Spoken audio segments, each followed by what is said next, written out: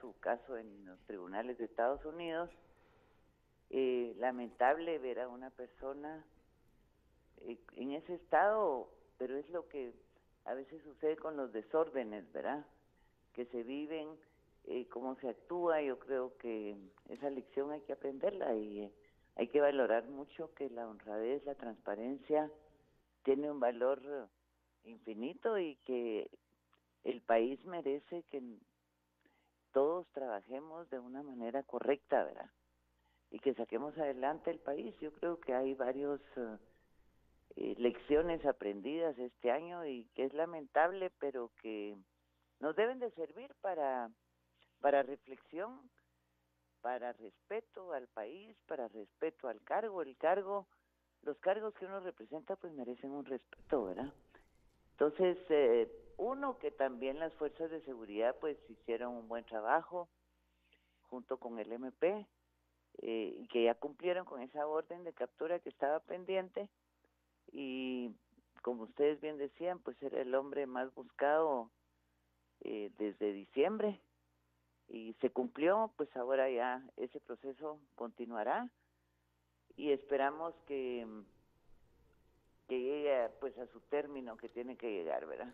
A lo interno de la Federación Nacional de Fútbol, Adela, usted está presidiendo este comité de regularización, el mensaje, pero sobre todo las decisiones eh, que se deben tomar para reordenar, para sentar precedente, obviamente, de lo que ocurrió hace algunos meses atrás y muchos otros casos que seguramente deberían ser investigados, pero cuáles son las decisiones inmediatas que se toman dentro de este comité de regularización y cómo está la situación dentro de la federación.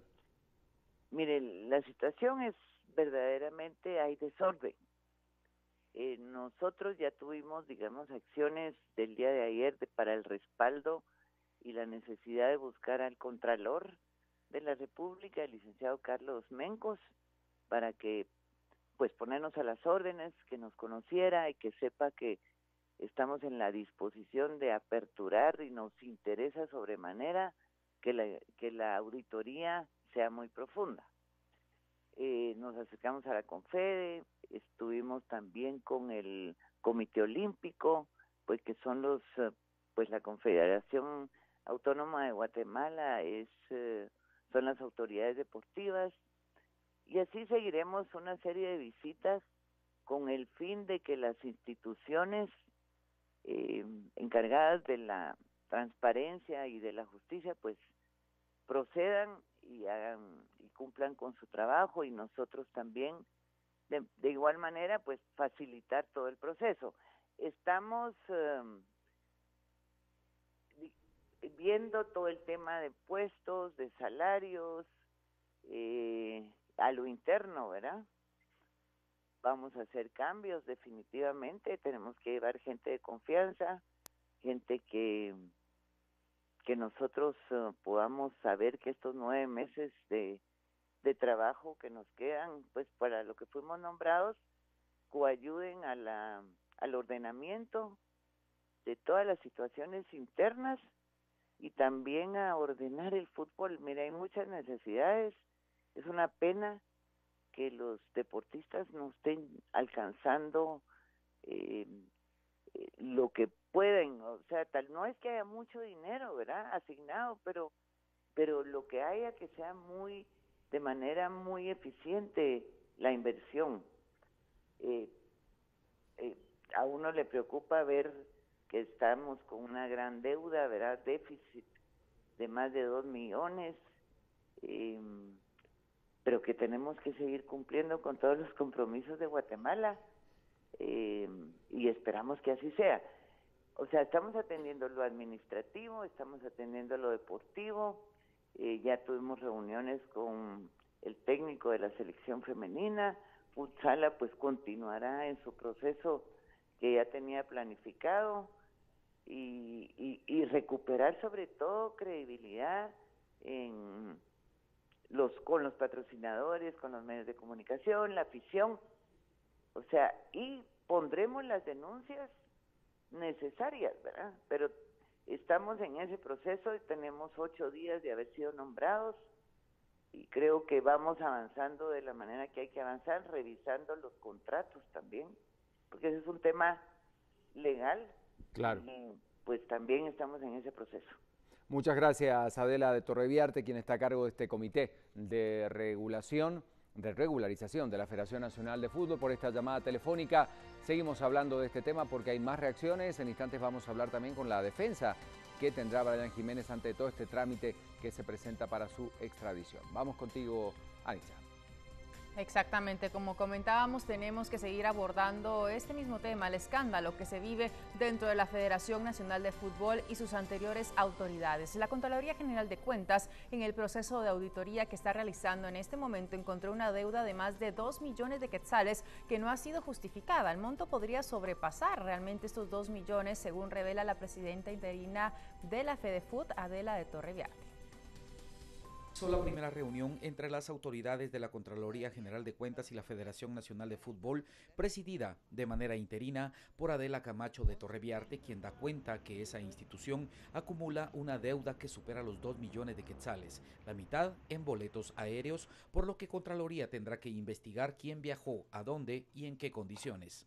Hay bastante deuda, la verdad que hay mm, más de 2 millones y medio, ¿verdad? En deudas. Eh, la situación es compleja financieramente, ¿verdad? Eh, pero el 45% de la deuda, casi 50, va siendo, es a, agencias de viajes, ¿verdad? Entonces hay que ver qué pasó con quienes viajaron, a dónde fueron, si fue en competencia, o sea, los motivos, ¿verdad? Es difícil ahorita poder señalar. El Contralor General Carlos Mencos indicó que se han topado con otro problema respecto a la FEDEFUT y es que la comisión que nombró la FIFA no puede ejecutar recursos del Estado a menos que se suscriba una ratificación de una institución guatemalteca. Con la Federación de Fútbol y con la Confederación Deportiva eh, hemos tenido una serie de, de conversaciones. Se concretó una reunión con la comisión nombrada por la FIFA para que tengan cargo de la conducción de la Federación de Fútbol. Eh, por supuesto, yo les manifesté mis inquietudes eh, en relación a que tiene que eh, producirse alguna ratificación o un nombramiento específico por una autoridad nacional para que ellos puedan ejecutar el presupuesto. Nosotros no podemos, bajo ningún punto de vista, aceptar que ejecute presupuesto público una persona o un funcionario que sea electo por un organismo que no tiene ninguna relación pública con Guatemala. Mientras las investigaciones continúan a lo interno de FedeFood y los resultados de las mismas serán presentadas ante el Congreso de la República en mayo próximo, aseguró Carlos Mencos. Bueno, todo un tema, ¿no? Pero ¿cuál es el camino legal? Eso es lo que muchos se preguntan que debe seguir Jiménez, ¿no? Exactamente, ya escuchábamos allí a su abogado defensor que no se van a resistir a la extradición, pero tenemos aquí esta información para ver realmente qué corresponde. Ahí está, justamente la ponemos en pantalla, son tres pasos puntuales. Primero, poniendo en antecedentes la solicitud de la petición que fue girada por Estados Unidos el 25 de noviembre, el 27 de diciembre la recibió la Cancillería y fue remitida al Ministerio Público. Apelaciones. Cuando el juzgado resuelva la extradición, los procesados pueden presentar recursos de apelación, aclaración, reposición y consulta. Y la decisión final. Cuando se concluyen los procesos legales, la Corte Suprema de Justicia envía a la Cancillería la resolución y esta la presenta al presidente para su aprobación y fecha de ejecución. Notifican al consulado del país solicitante para recibir a los procesados. Ese es el camino legal, entonces, que le espera a Brian Jiménez. Hoy se vivirá una nueva jornada, cambiamos el ángulo de la noticia, jornada judicial en el caso que se sigue contra 14 militares detenidos acusados de desapariciones forzadas y delitos y deberes en contra de la humanidad. Se escucharon los testimonios de uno de los testigos protegidos que presenta el Ministerio Público y en la grabación se señala directamente a Luis Alberto Paredes Nájera como el militar a mando y que tomaba las decisiones en esta zona militar número 21 donde supuestamente se habrían ejecutado las masacres. Vamos a ver. El Ministerio Público reprodujo dos audios que contienen la declaración testimonial en anticipo de prueba de dos militares retirados, que fueron identificados como testigo A y testigo B. Forman parte de los medios de investigación recabados por la Fiscalía. El testigo B indicó que estuvo en la zona militar número 21 en Cobán, Alta Verapaz, del 2 de octubre de 1981 a julio de 1982. Usted refirió que el comandante de la zona era Ricardo Méndez Ruiz. Ahí existe también un subcomandante o ejecutivo, así se le llama. ¿Recuerda el nombre de esa persona? Correcto, el señor ejecutivo era Luis Alberto Paredes Nájera. ¿En qué consistía la investigación? Mm, la, la investigación es como, por ejemplo, son nombrados por el señor comandante eh, Luis Felipe Miranda Trejo, que, por ejemplo sucedió una masacre, y ellos siempre están atrás, ver cómo realmente a quién culpar, ¿verdad?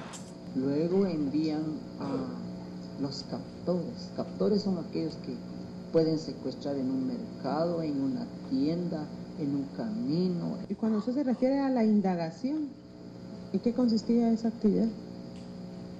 La indagación que ellos hacían, por ejemplo, si la persona no habla, torturaban. El testigo B refirió que los colgaban de cabeza y los metían en un tonel con agua para lograr que hablaran. También les insertaban agujas. Relató que los encerraban en un calabozo donde les tiraban la comida. La fiscalía le imputó 122 desapariciones forzadas a Luis Paredes Nájera.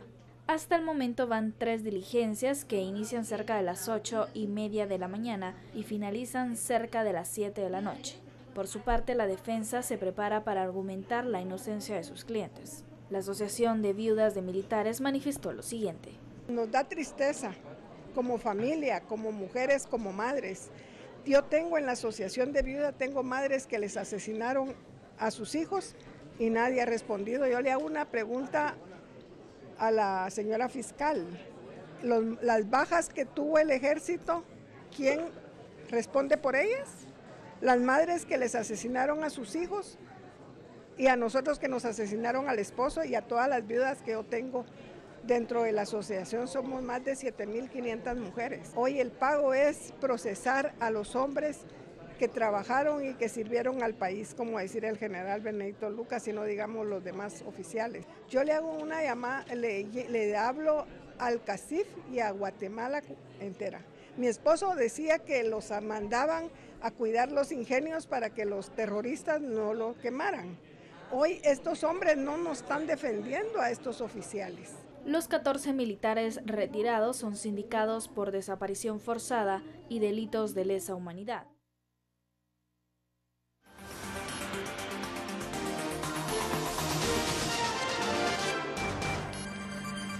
Bueno, y tenemos por supuesto también la lectura que hace Francisco Soto, director del Centro para la Acción Legal en Derechos Humanos, Caldeache. Francisco, buen día, bienvenido a BLM Noticias. Sus comentarios, por favor, de cómo avanzan estas jornadas. Lo escuchamos, buen día. ¿Qué tal? Muy buenos días.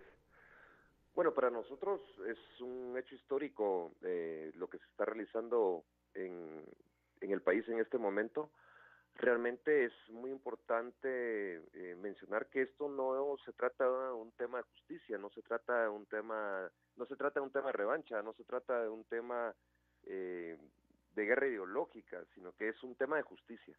Las víctimas han solicitado justicia por más de 30 años y por fin la justicia está llegando a, darles una, una respuesta los hechos que se están juzgando por los cuales el Ministerio Público está imputando es básicamente son hechos contra personas que estuvieron dentro de la institución armada y que se dieron en contra de población civil no combatiente. Son hechos que no sucedieron en enfrentamientos entre ejército guerrillas,